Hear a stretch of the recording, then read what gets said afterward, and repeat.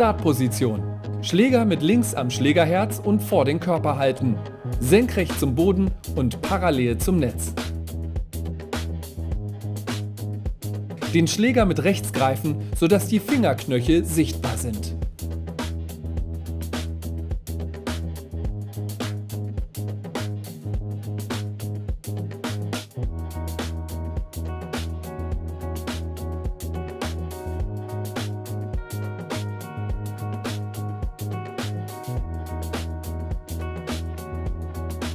Die V-Spitze sollte sich innerhalb dieser Linien befinden.